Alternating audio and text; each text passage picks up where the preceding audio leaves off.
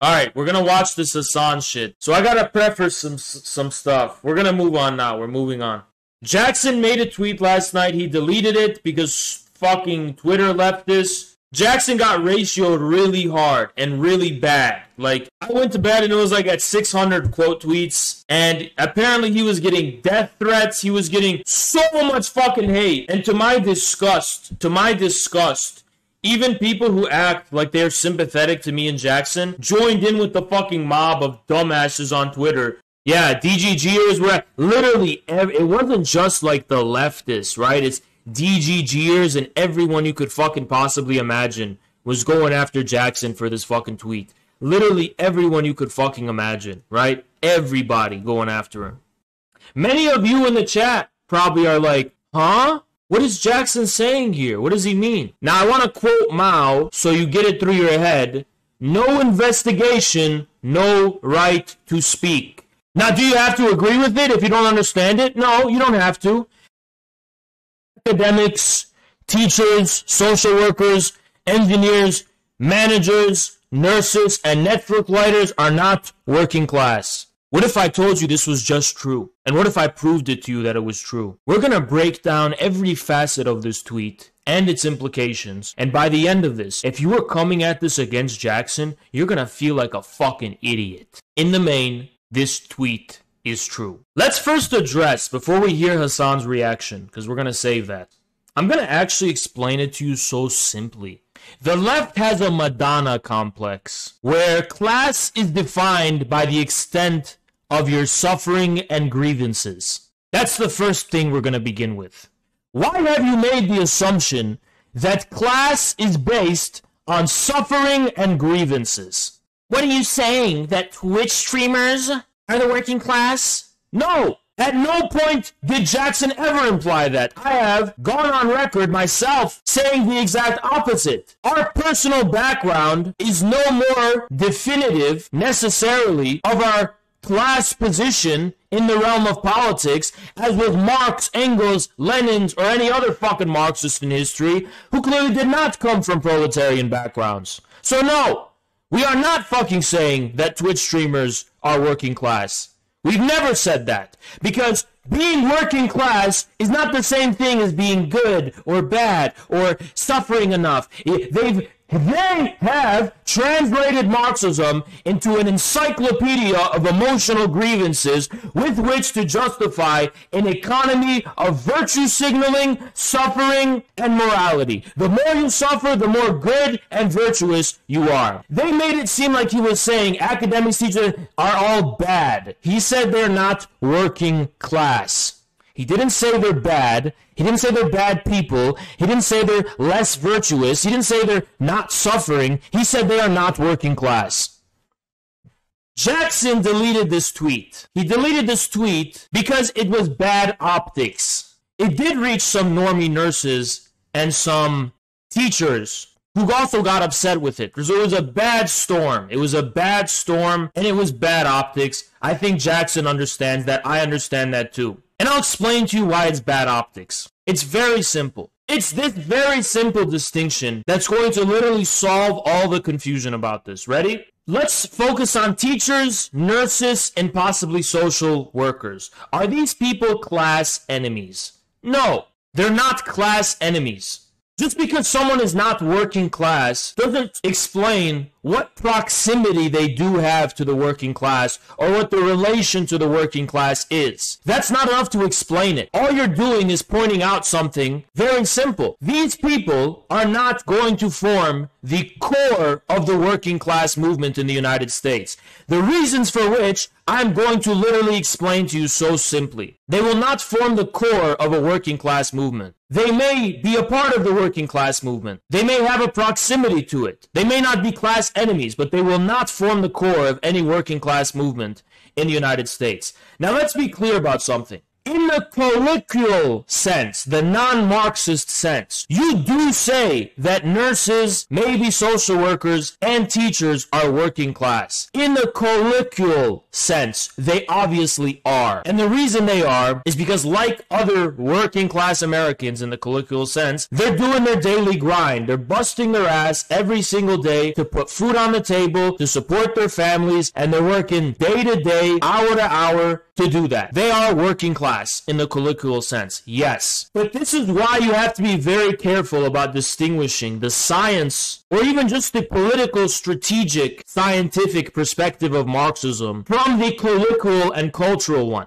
So, from the colloquial and cultural sense, obviously teachers and nurses are working class, right?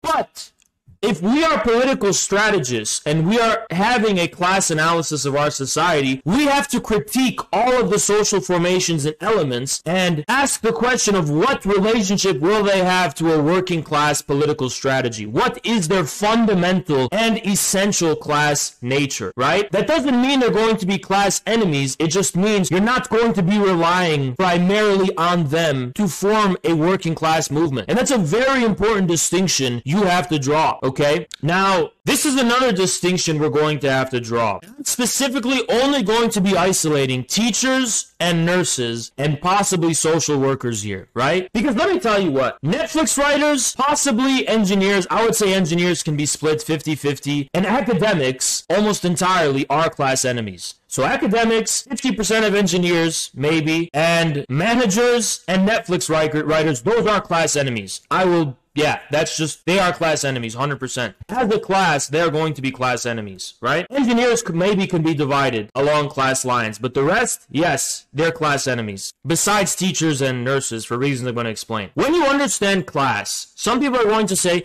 class is just based on what your relationship to the means of production is. That's true, but the means of production is very vague. The means of the production of what? Of economic value? Of commodities? Because if you're looking at it from that perspective, perspective and you're applying that to 2021, you are not going to be able to explain classes in terms of ownership. The idea of are you an employee or an employer? That's what defines class. That's a political distinction that's based on how you're going to be recognized by the law and tax distinctions and things like that and federal regulations. That's a legal distinction. That's not actually a fundamentally economic relation. I want you guys to understand what economics means. I know a lot of people say class is not income. It's not, but income is part of class. And the reason it's part of class is because economics is about how material goods or access to material goods is distributed across society. So if you're looking at such variations, employee that's making that's getting salary 200k a year or like Hasan said, a labor billionaire like LeBron James compared to, you know, a coal miner or compared to a janitor, that is not a meaningful you don't have a meaningful concept of class. Class is supposed to talk about the different relationships to the economic means of production. You're defining a relationship to the the economic means of production so broadly that it encompasses radically different economic strata and economic ways of life and economic wealth, your notion and concept of class is fucking worthless. If your concept of class is just about employees versus employers, it is not specific enough to actually explain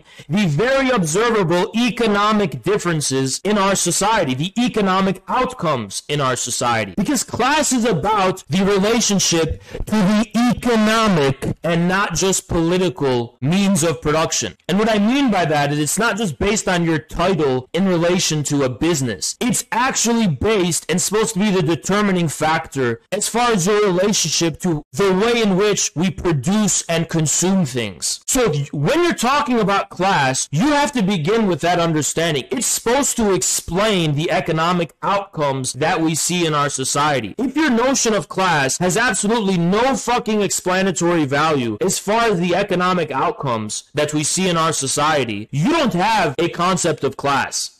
There are clear economic differences, very discrete economic differences between Netflix employees and people working in factories. They have radically different economic ways of life, patterns of consumption, and so on and so on. Just night and day, right? If you're saying they're part of the same class, your concept of class is fucking worthless because it is not able to explain the different economic outcomes between those different groups. Remember, the economic relation to the means of economic production is supposed to explain the economic outcomes you see in our society. In Marx's time, the proletariat was a specific class with a specific pattern of consumption. It had a specific cultural reality. It had a specific way of life. It had a specific geography. And it, it, it could actually be identified economically as distinct from the rest of society. If your notion of what the proletariat is, is so fucking all encompassing that it's going to start encompassing professors and graduate students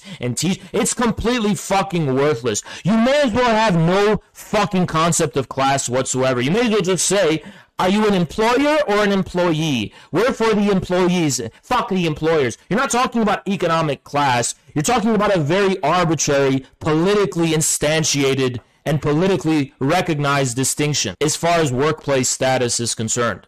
Because it rests upon the assumption that the 19th century form of private property has persisted up to this present day, when it hasn't. Ownership, so-called ownership of the means of production, is not like in the 19th century, where you had the power to arbitrarily exercise uh, the freedom to do whatever the fuck you wanted with your property, and it's just your property, is what it is, do what you want with it, as Marx described of the commodity. That's not how ownership works today. Ownership is derivative today. And by derivative, I mean it takes more the form of like um, derivative stock contracts, like the right to buy things, the right to sell things, the right to have exclusive contracts with government projects, the right to have a monopoly over a certain IP. It's a derivative form of ownership and not a direct form of ownership. So the idea that you can directly transplant the 19th century classical liberal form of ownership to the 21st century and base your class analysis off of that is going to lead you to extremely stupid fucking outcomes that are not able to explain the variations among the various different social formations and segments of society along political, cultural, and economic lines. It has no explanatory value if that you're going to commit to such a dogmatic analysis.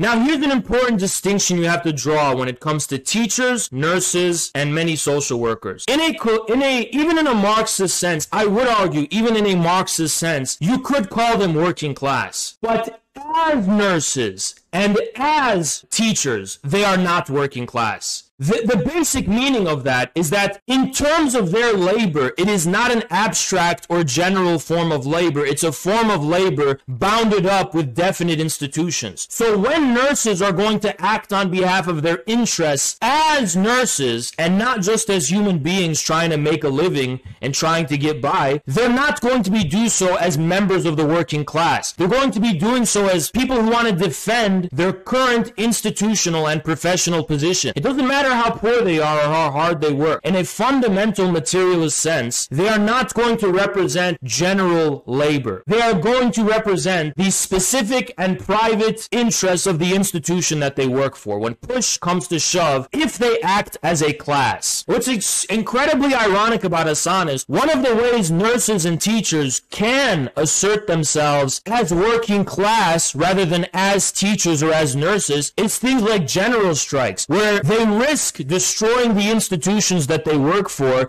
in order to assert their fundamental human dignity as deserving a basic standard of living and a basic level of living conditions and so on and so on. When they do things like general strikes, that you could say they're acting as a working class, right? And it's interesting Hasan is pointing this out because Hasan, and we're going to get into this actually, attacked the panel um, that was hosted by many influencers to call for a general strike and strategize about how they can get a general strike going in this country. A general strike is a way for people to withdraw from their specific institutional context and act as one working class people. Nationwide general strike. People on Twitter and Hasan himself, Hasan doesn't like the idea of a national general strike. And the reason why is because a national general strike is a great leveling process. It means that if you're a Netflix employee, you don't have as much of an incentive to engage in a nationwide general strike as a janitor, right? A janitor's like, yeah, or a McDonald's worker. A McDonald's worker's like, yo, fuck my job. You know what I mean? Like, my job fucking sucks. I'll go on a general strike. But a Netflix employee is like, hmm, I don't really want to risk it because I'm kind of in a comfy position. So a nationwide general strike, a general strike is a way for a general working class to assert its existence, right? But Hasan doesn't like that. Hasan prefers for graduate students to organize within their cozy confines of the gra- because that way their interests will not be weighed against the interests of the country's actual general working working class. You understand the game that they're playing? They went after Jimmy Dore and the rest of them's call for a general, national, nationwide general strike because they fear this tremendous leveling process, which is going to turn the professional managerials, if they commit to their LARPy working class pretensions, it's going to make them equals of the actual working class of this country. But the professional managerials do not have the same incentive to risk their current social position that the country's general working class does. And the truth is, even nurses and teachers don't have that incentive themselves. Teachers are an extremely institutionalized social formation. They're very much dependent and very much instantiated in their specific institution of government public education right? Another important thing about pointing out how, as nurses and as teachers, these are not members of the working class. Again, as human beings, you can maybe say they're members of the working class. As citizens of this country, you can maybe say they're members of the working class. But as nurses and as teachers, they're not. And the reason you can say that, the reason it's important to point that out is because the left has fetishized nurses and teachers as like the vanguard of the working class because their interests have for a long time been aligned with those of the Democrats, the social engineers, and the liberals, right? The social engineering Democrats who have this agenda of engaging in this cultural social engineering project are very easily able to win over teachers and nurses because those people are already overly socialized and institutionalized. Now, you when you have a Marxist perspective, you don't have a black and white perspective. You say, oh, nurses and teachers are bad. Oh, they're reactionaries. Oh, they're class enemies. They're enemies of the people. Oh, they're um they don't work hard. Oh, they're parasites. That's not true. They are hardworking people who are trying to get by day in and day out to support their families, right? You have to have a scientific view of this and not an emotional one. You just have to understand that as teachers and as nurses nurses, they're not going to form the nucleus of a working class movement in this country. The way you're going to be able to define and measure this very simple understanding of who is and isn't working class is Marx's concept of simple labor. This is the first chapter of Capital. The value of a commodity represents human labor in the abstract, the expenditure of human labor in general. And just as in society, a general or a banker plays a great part, but mere man, on the other hand, a very shabby part, so here with mere human labor. It is the expenditure of simple labor power. And this is the important part we're going to highlight. The labor power which, on an average, apart from any special development, exists in the organism of every ordinary individual. Simple average average labor, it is true, varies in character in different countries. This is very important and at different times. But in a particular society, it is given. Skilled labor counts only as simple labor intensified. What did Marx just say here, right? Let me give you an example of what he's talking about as far as simple labor is concerned. So he already told us that it varies in character in different countries and different times. But it basically and more or less represents, it basically and more or less represents the type of labor that an average person, an ordinary person in a given society with an average number of skills is going to be performing. So how do you think about that? Well, what's the kind of labor that any old dumbass fresh out of high school, for example, in the post-war period, is going to be engaging in? What are they going to do? They're going to go work at a factory for Ford or for GM, and they're going to be able to have a family. They're going to have this average middle class baseline standard of living, right? It's going to be the factory job. Now, in the post-war period in the United States, you have to have this understanding of the history of the working class in this country. There was a social contract that was arrived at between the government and the, the the American citizens, more or less, right? Or at least the baby boomers after World War II. You are mostly factory workers and you're mostly doing these heavy industry coal miner jobs, right? A lot of people on Twitter are being like, oh, you're fetishizing that class just because they're manly and masculine and because of their aesthetics. No, that's not why. There's a very specific scientific reason why we are privileging that class as the working class. And the reason is because in the post-war period, the United States as a state state was built on the basis of an economic social contract, according to which an average normal human being in the United States um, is going to be guaranteed a basic job, a basic standard of living, and that the government is going to organize itself around, in, the, in, a, in a way, in a perverted and twisted and ironic sense, the U.S. kind of became a workers' republic. But hear me out here, right? Our state and our government, at least officially,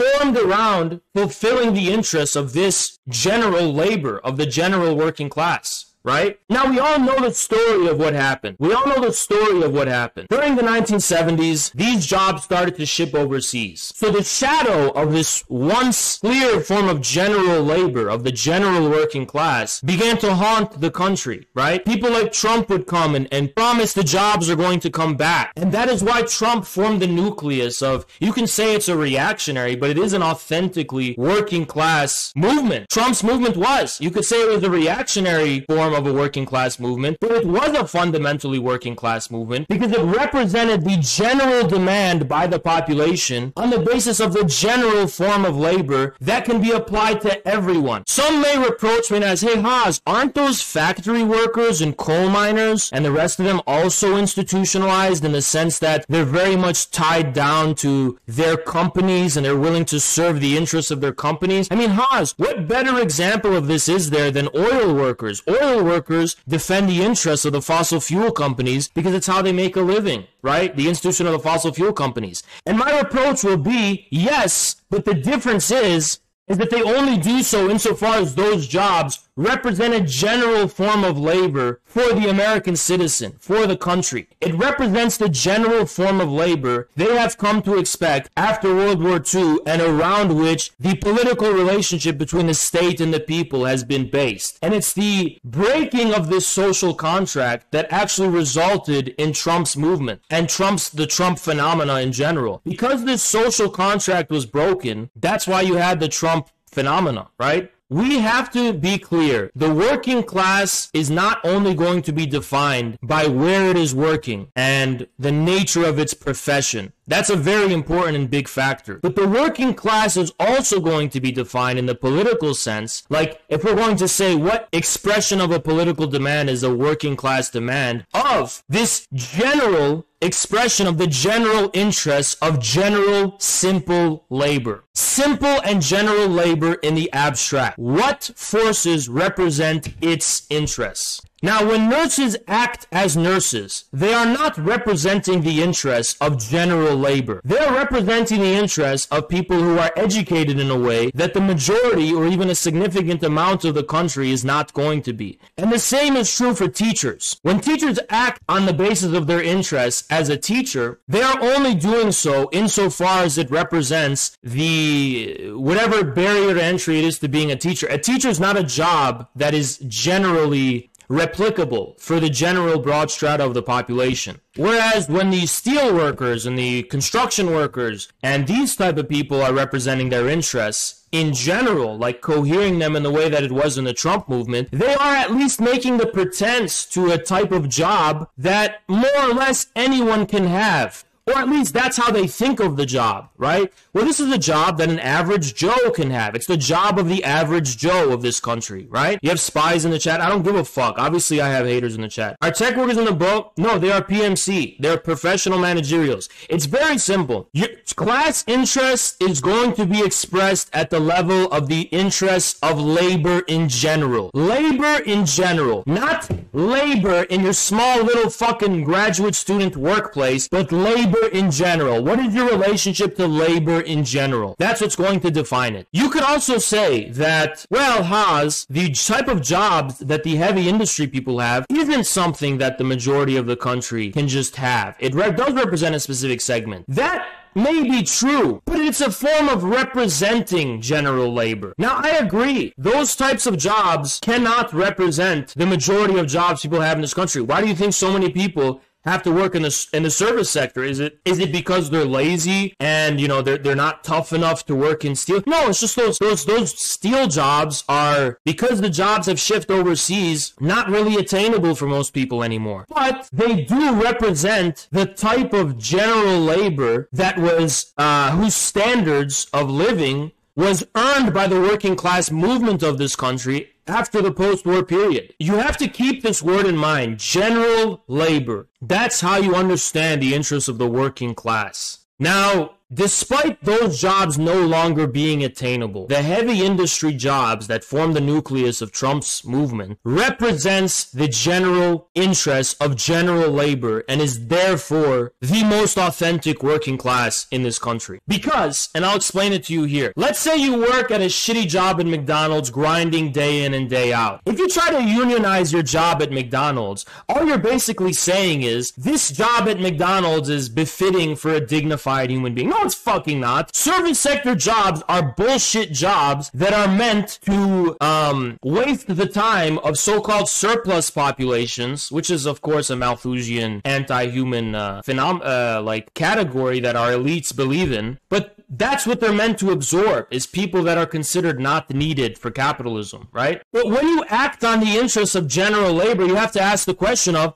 what types of jobs should ordinary Americans have? What types of jobs should we have? What types of jobs should we expect? What types of jobs represent our interests and the interests of our labor in general? And those jobs are going to be the heavy industry jobs because those are jobs that are not only socially necessary in the like sense of socially necessary abstracted from material nature, but they are literally the jobs materially necessary for our reproduction as human beings. You don't need service sector jobs. That's the truth. You only need service sector jobs because we are having our time wasted by the eight hour day. So we don't have enough time to attend and serve ourselves. And we don't even have enough money to serve ourselves. But imagine, for instance, if the Communist Party adopted as its platform shortening the workday to four hours or two hours even and having a general vocational trade school program, abolishing the service sector so that we could all have heavy industry jobs that we work, you know, four hours a day, supposedly, and we have free time plus more wealth to do it what we want with it, right? That would be a working class demand. Now, that's not something professional managerials are going to get behind because professional managerials reproduce their existence on the basis of managing the way in which human beings currently have to live their lives. And, like, even Netflix creative artists are producing shit to appeal to the ways of life we have right now that doesn't that involves this suffocating lack of economic emancipation and freedom, right? How do you solve the problem of automation? You solve it by shortening the hours of the short you solve it by shortening the workday and the work week. That's how you solve automation. Shorten the workday and shorten the work week. Simple as that. Now, many have tried to say there's some dumbass on Twitter who quit the Discord and decided he didn't want to debate me because he's too much of a fucking coward um, who I debated before, and they were so nice and cordial and understanding. They were like, "Oh, it's more like a discussion," and they wouldn't ran their mouth on Twitter saying that uh, they beat me in the debate. So I'm gonna, when I get the chance, I'm gonna bring them back on. Apparently, they're running away. So whenever they decide to uh, grow a pair and come on. I'm actually going to d- fucking wreck them. But they were trying to say revenue is not what is fundamental to class, ownership is. Here's the thing I need you guys to understand something about Marx's theory of value and his corresponding understanding of the various classes of our society. For Marx, Marx was very specifically positing an explanation for how value in our society is being produced. How is it that you can start out with a given amount of money and end with profit? How do you get from M through the investment into a commodity to M uh M what is the M uh what's the name for it? More money, whatever that symbol they put at the end of M, right? M prime, yeah, M prime. How do you get from M to a commodity to M prime? Marx Marx's basic explanation for this, right, was that it was coming from the abstract human labor of society in general. Abstract human labor is what is responsible for the production of value and the corresponding contradictions in the expression of value in our society in the form of price, like for instance in the form of the falling rate of profit, can be explained by the relationship between the value form and abstract general human labor. The whole decisive point in Marx's formula here is that is not creating some kind of axiom that anyone who sells their labor is a worker and that any form of compensation for any type of service is a form of labor because you're paying them. More fundamentally, the reason for that is because according to Marx, that was what explained or what was responsible for profit. That what is that's what explained not only profit, but the falling rate of profit and general capitalist crisis. This basic contradiction between the form of value and the vital material source of value itself. So he wasn't creating a dogma first and then drawing from a first premise. He was asserting something and then developing and proving why it was in the form of proving the way in which labor is responsible for the production of value and surplus value specifically. Labor was responsible for surplus value. This is something he took it upon the burden of himself to prove in capital, right? But the way in which he does this does not afford, afford this dogmatic idea that just because you're not the employer means that you're performing some kind of abstract productive labor that is responsible for the surplus value being produced in our society in the aggregate. That is what the burden upon you is to prove in 2021, because this is where it gets interesting, right? These people in the DSA would have us believe with a straight face, they would try to tell us in a, with a straight face that the reason why you can explain this current super profits in our society, despite no real growth in the actual economy, is because Netflix workers are just that productive. These Netflix writers who are writing cuties, the reason why Netflix is growing. Because if it, because they make this stupid argument, like, well, if it wasn't for them, you wouldn't have Netflix. But that's not why Marx was saying labor is responsible for surplus value. If you didn't have machines, you couldn't do it. If you didn't have this, you couldn't do it. There's a very specific reason why Marx explains surplus value in terms of labor.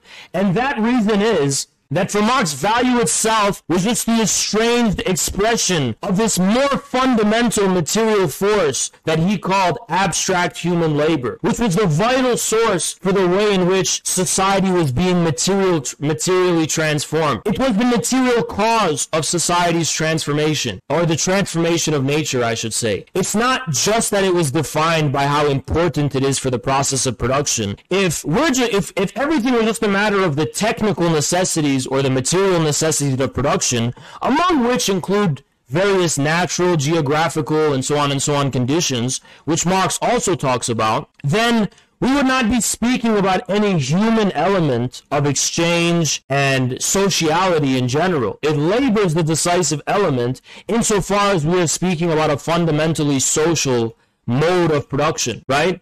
It is how human beings divide the general labor between themselves in the production of a general social product in the form of profit in the aggregate.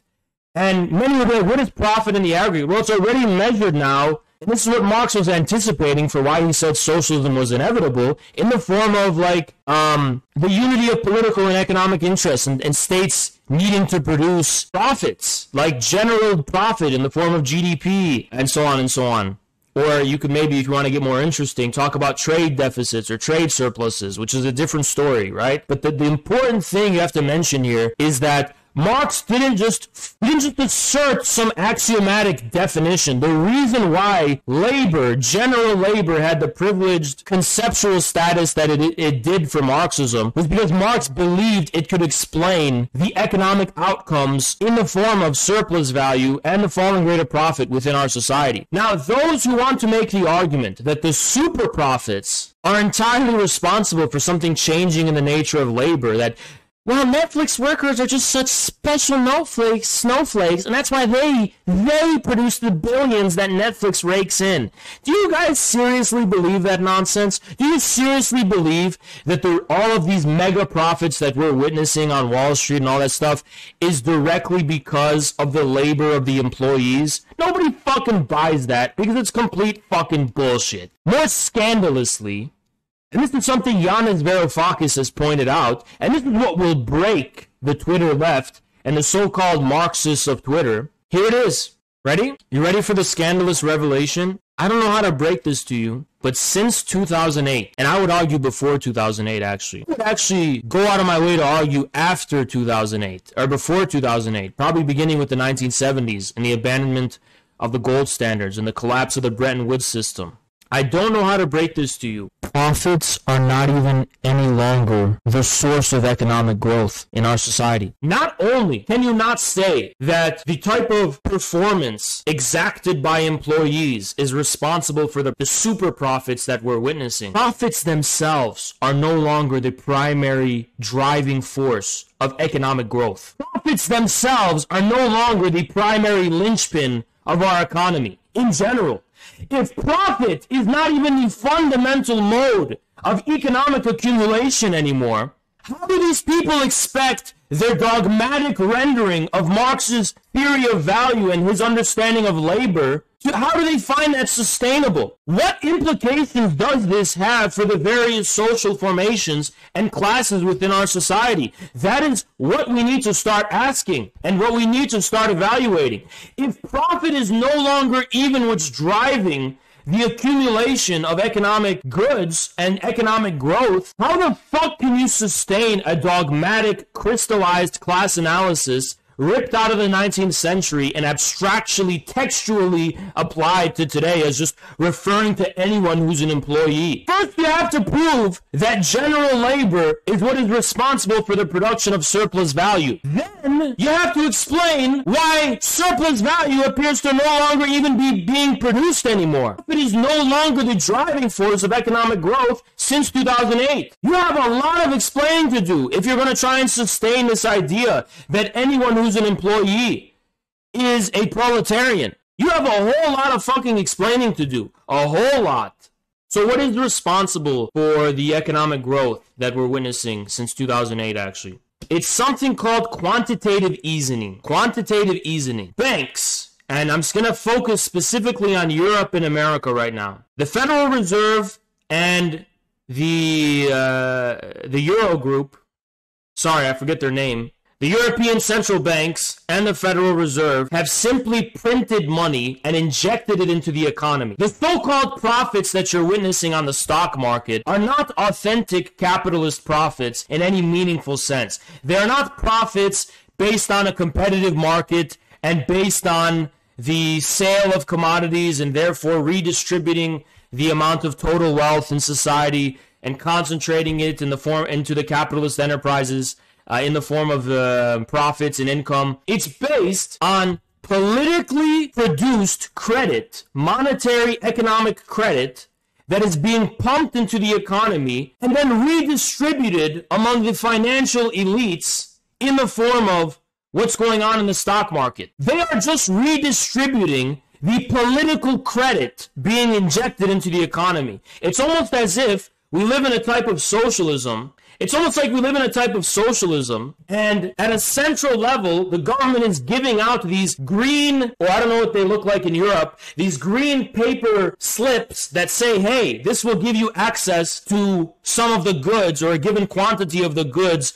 that are socially produced in our society, right? They're printing out this money and giving it, injecting it into the economy, and then in the stock market, it is merely being redistributed among our ruling class in specific types of ways. Now, I'm not saying it's entirely artificial and that the stock market is all fake coordination, but you saw with the GameStop controversy how much that shit is rigged. When people decide, because on Reddit or whatever, people realize, like, hold on, they're actually coordinating how the stock market works and they're planning it in order to reap this excess of money that's being injected into the economy by the government. What if we use our use the power of the internet to create like an um, a decentralized uh, channel of information where we will signal collectively on the basis of a common social cause and also on the basis of trying to get rich that we want to pump the value of a given stock. It worked, and it worked so fucking well that the platforms that are accessible to the general public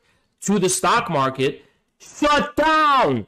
Shut down because of how much the GameStop stuck stuff created a panic for the hedge fund investment um, enterprises and these Wall Street insiders. Robinhood or whatever, right? So this idea, you have to think about this, right? How is this capitalism in any traditional sense? Please explain to me how this is the traditional form of capitalism that can be explained with the prior form of the law of value. Something is not, something is quite awry, to say the least. Something is quite awry, to say the least, in terms of how our economy fucking works.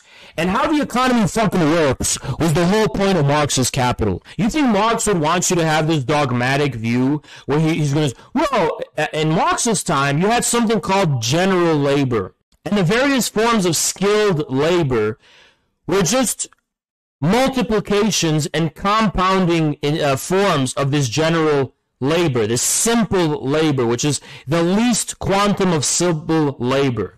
As Marx himself put it right here in Capital, skilled labor counts only as skilled simple labor intensified or rather multiplied simple labor, a given quantity of skilled being considered equal to a greater quantity of simple labor.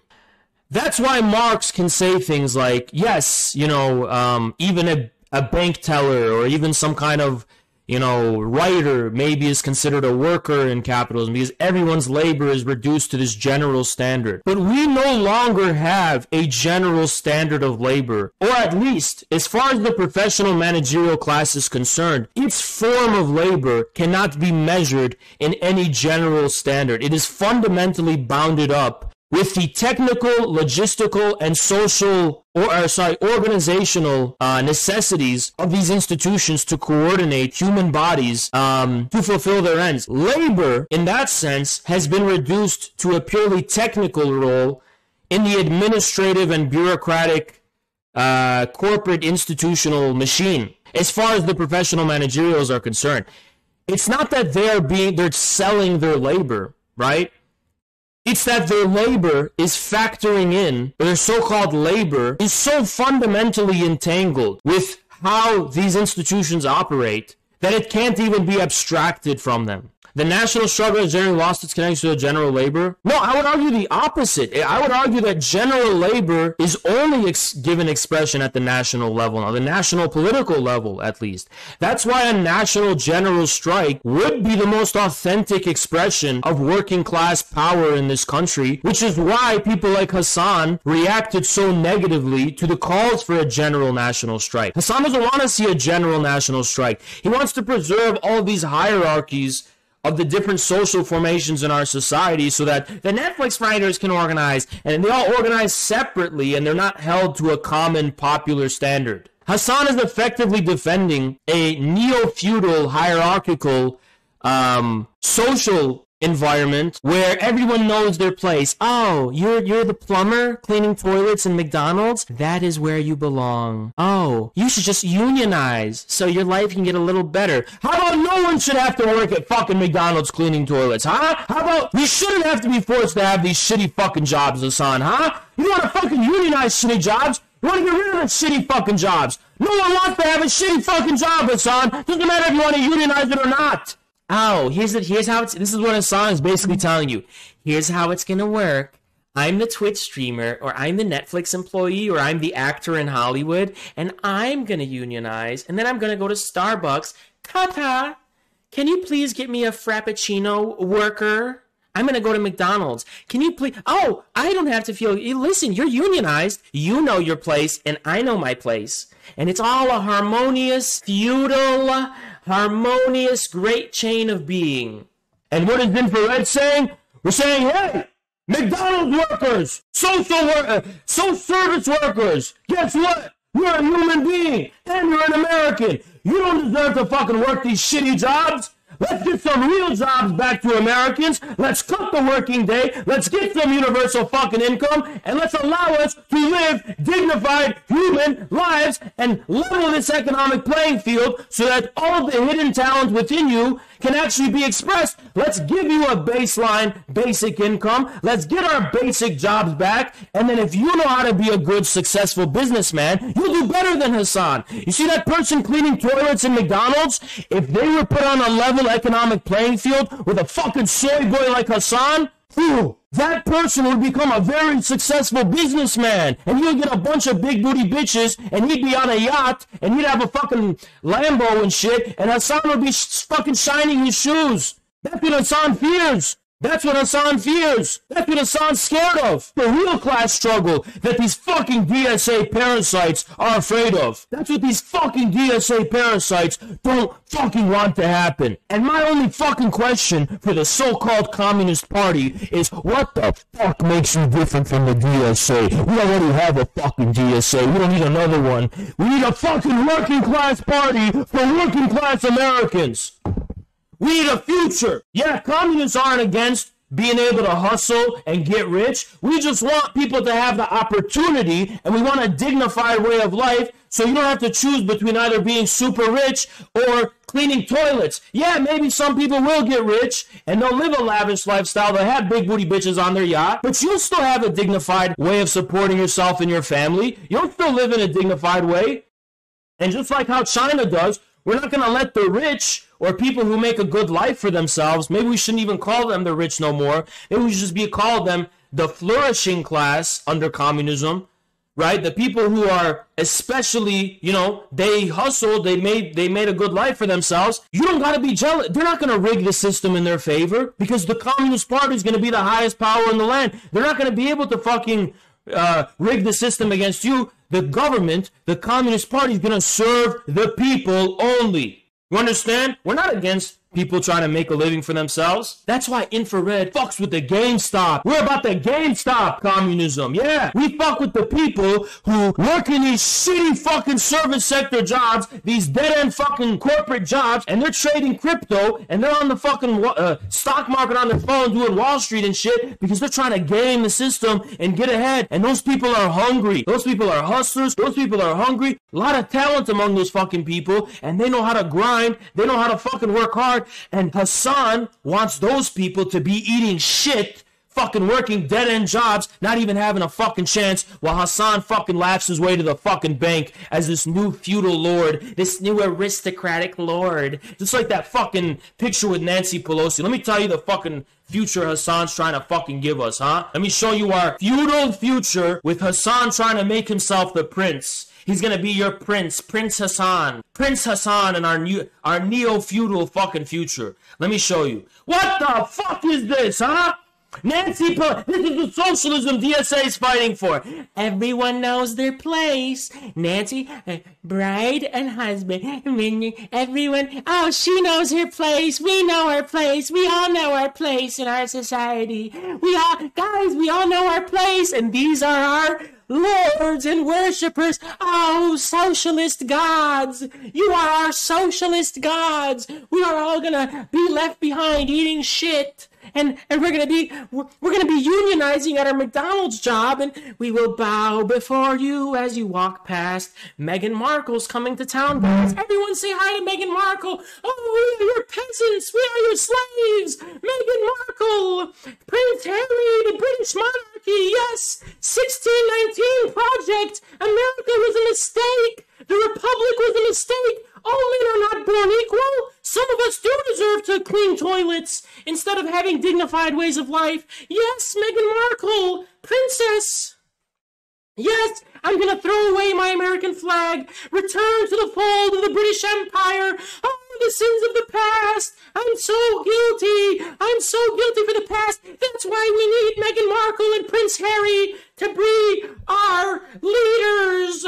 Oh, Nancy Pelosi. Oh, my God. Oh, yes, yes, we will not have 1776 again. Oh, oh, 1776?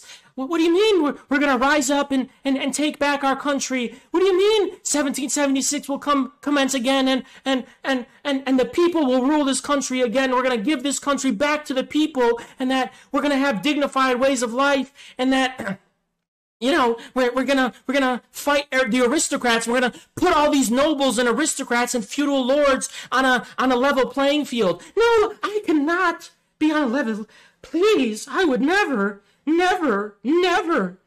Please forgive me for the thought. Speaker Pelosi, please, please, Speaker Pelosi, Speaker Pelosi, please. Speaker Pelosi, listen. I would never think that this woman is an equal to me. I am but a cock who cleans toilets and watches Hasan. And I ha- I'm a member of my DSA. I'm a member of the DSA. I'm a member of the DSA, aka the Catholic Church, uploading the feudal order of 2021. Yes, yes, yes, just like the Catholic Church in the Middle Ages, we have the DSA today that's upholding the great chain of being, and we all know our place, but we're unionizing, so it's okay. Oh, yes, Speaker Pelosi, we are not equals. I cannot, I am but a peasant. I was made to clean toilets. I was made to clean toilets and eat shit. That's what I was made for. Oh, I could, I could never dream of a different way of life. Yes, I could never. Hell no, that's not what I'm fucking about. We're saying 1776 will commence again. The American people are gonna rise up, and we're gonna give this republic back to the people. All men are created equal. Hasan's not better than you. None of these fucking Hollywood celebrities are better than you. All these fucking Wall Street people aren't fucking better than you. We're all fucking men. We're all fucking red-blooded men and women, whatever the fuck else you want to call yourself. We're all fucking human beings here. These people aren't fucking better than us. These people don't have fucking more talent than you. They're not fucking smarter than you. They don't fucking work harder than you. And you call us fascists, you call us fascists, and you're maintaining a fascist imperialist form of feudal slavery for the debt slavery for the fucking population while you're in the fucking DSA, right? Shut the fuck up, bitch. Oh, oh, Speaker Pelosi. And you're gonna listen to Hasan, right? You're gonna listen to this fucking Hasan fraud, right? You're gonna listen to Hasan the fraud. How dare he's got the Soviet flag in his background. 2036 to 2036. Let's go. Thank you, Black Lenin. He's got the flag of the workers and peasants who rose up and overthrew the satanic, corrupt, decadent Russian aristocracy and fucking monopoly landowners in fucking Russia who gave their fucking country back to its people and he's carrying their fucking flag. Let's watch Hasan's reaction. Let's watch Hasan's reaction. Got the Bernie Cuck cu- cardboard cutout on his fucking back. Because he's preparing us for a fucking fascist junta with a fucking AOC and neocons going to take over, and Hasan's going to be fucking sitting there, fucking shrugging it off, right in front of our fucking faces. Let's go. It's Friday. Chatters rejoice. Bro, when you say, t- first of all, like, the academics side is like classic, okay? That's like classic fucking fascist posturing.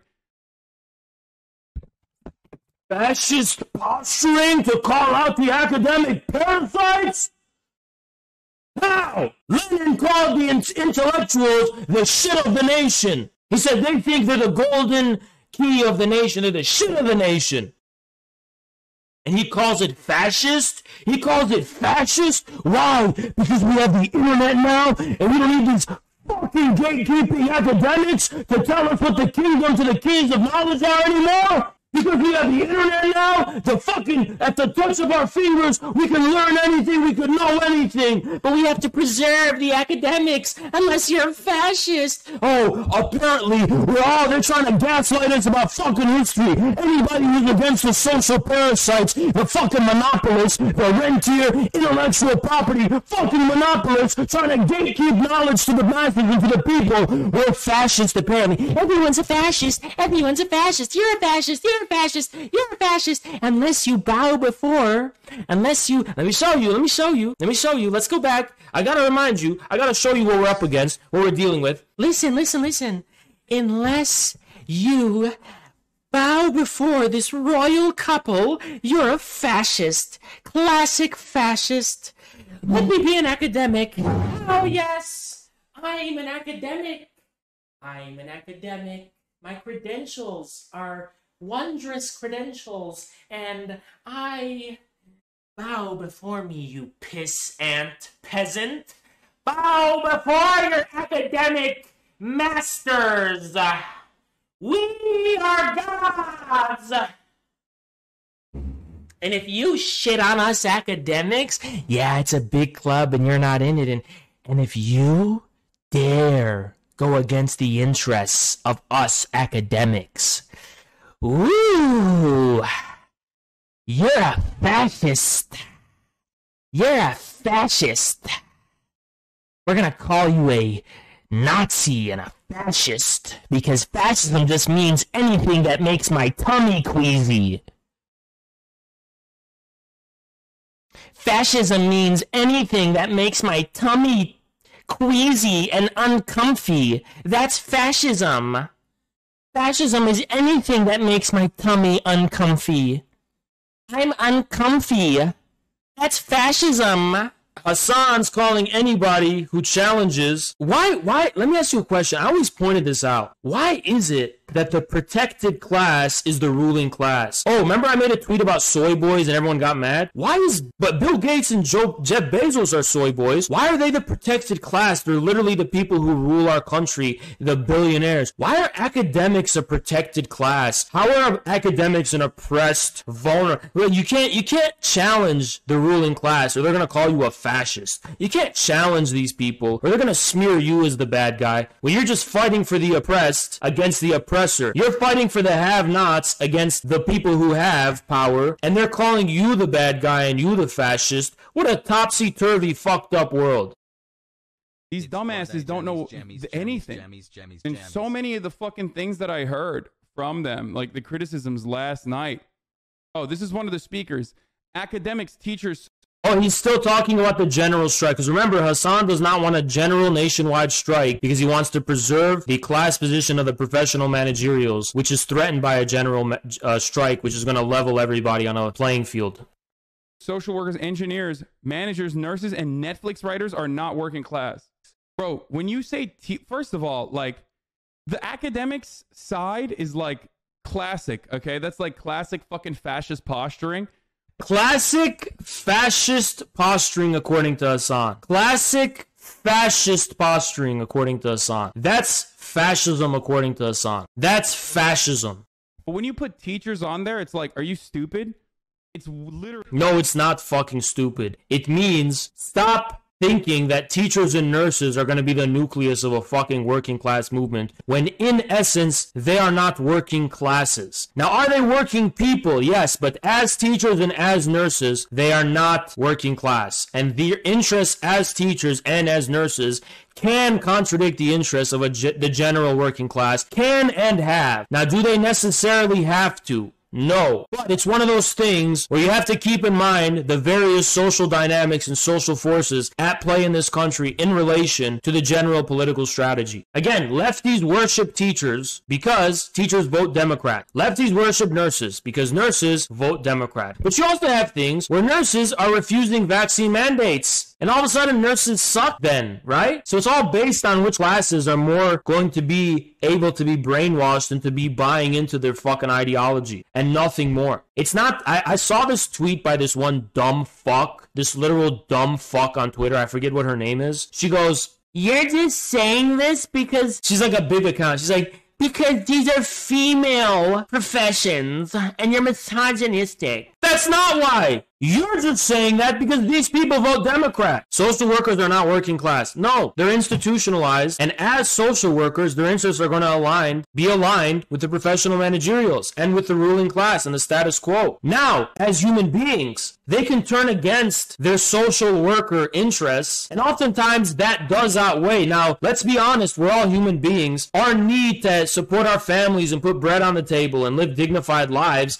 is going to outweigh the interests that are bounded up with our specific class. That can outweigh it and usually does outweigh it actually. That's why teachers go on strike. It's why nurses go on strike. It's why social workers can go on strike. You're really only going to be able to measure that in a general nationwide strike. Literally at the heart of the working class. Okay? Like how what the fuck? me- It's wild, dude. It's so sad. It's so fucking incredibly sad that like there are brilliant fucking leftist voices out there. Like who, Hasan? Who's the brilliant leftist voices? Bad Bunny? Who's the brilliant voices that aren't being heard? Who, Hasan? Who? Who are the brilliant fucking voices whose voices aren't being heard? Who are these brilliant people you're talking about?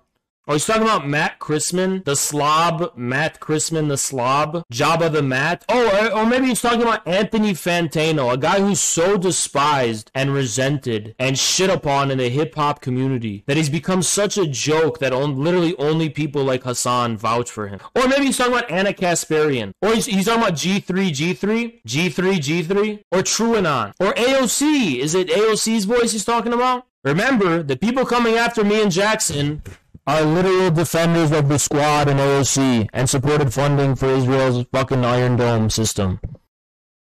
And yet like these fucking weirdos are are I mean they're not really like prominent at all. They're not really like prominent at all. That's why like it's only a matter of time before we surpass even you. Like, give it like two or three years, and we're gonna probably surpass you. So it doesn't even I don't know. Yeah, Pol Pot. yeah, this is literally Pol Pot, dude. You you wear glasses, you're not working class. I'm gonna kill you. No, it's Paul Pot. It's Paul Pot. I can't even say what's actually on my mind because it's probably not allowed. So I'm just gonna leave it at that. But I- I'm not gonna say nothing further. Lips are sealed, zipped, zipped lips. All I can say is that the history of communism is important to study. Kill you. That's what Jason and Pol Pot. Hinkle ha- uh, Zip thought. Okay. Is uh, thinking over here. I don't know who the fuck this guy is either. Cap. Just like he didn't know who infrared was, right? Just like how Hasan didn't know who infrared was, and yet literally you could see the fear on his face whenever I'm so much as mentioned. They You guys know Marx actually tried to prove how labor produces surplus value. He didn't just make a moral argument uh, like how, uh, oh, without me, you wouldn't be able to make a profit. That's not the argument. Marx actually systemically proved it in Capital, and you have to sustain his demonstration of proof today. And what I'm saying is you can't do that. You can't, you can't say nurses produce surplus value. Demonstrate how they produce surplus value. How? How do you measure that? Okay? You sat through one of these things, and all they did was talk about crypto, talk about how much of a fucking class enemy I am, talk about Rachel Maddow, instead of literally talking about like labor organizing and having labor organizers and union leaders on their fucking broadcast where they're supposed to be talking. Like, like the Netflix walkout. That's what he's thinking of when he says that. But he's thinking of the Netflix walkout people. Talking about like launching something that could Let's literally put you in jail. Okay. People in the past who have tried to execute general strike have gone to jail. Okay. The bourgeois capital Do not, do not ever think about a general strike. Oh, I'm not. I'm totally not CIA. Don't even try to conceive of a general strike. Hold on. Go on. Go back to Netflix. Go back to the graduate student unions. Do not think about a general strike. Do not even consider a general strike. General strike, very scary. Very, very much. No, no, no. Stay away from a general strike. capitalist American government will not allow you to organize something like that. They will literally kill you. They will throw you in fucking jail. They will do everything. You heard that? I'm gonna terrorize you into not even considering entertaining the idea of a general strike. Oh my, don't. No general strike, guys. Just watch me. Watch me. Watch Hasan, and I'm gonna go hang out with Mizkif and uh, Ludwig. Watch me. Don't don't even think about a general strike. Because the people who Genuine question: Are academics not working class? No, of course they are, dude. Shut the fuck up. This is Of course they are. Every, of, how dare you, you fascist? How dare you imply that academics aren't working class? I myself am working class. I'm a streamer. look. Here's the thing, okay? A lot of these people are super American, okay? That's just what it is. Months. They they adopt the aesthetics of like fucking you know like pan African nationalism, or they might adopt the aesthetics of like Maoist uh, you know third worldist rhetoric. They might adopt Who are you fucking talking about, Hasan? Those are the people attacking us every day, you dumb fuck. You don't know what the fuck you're talking about. that as uh, as an aesthetic, but ultimately they are so fucking shackled and so burdened by an, a hyper Western understanding that is inherently reactionary. Uh, What the fuck are you talking about? Go ahead and explain, Hasan. Explain why your perspective is Eastern and, and ours is Western. Explain what's Eastern about your perspective that OnlyFans is the proletariat. Go ahead. And and completely continues along that same demystification of class, the mystification of class and class analysis and material. Like the moment that you say academics are not working class, like no, you're like you're a Fox News commentator, okay? What?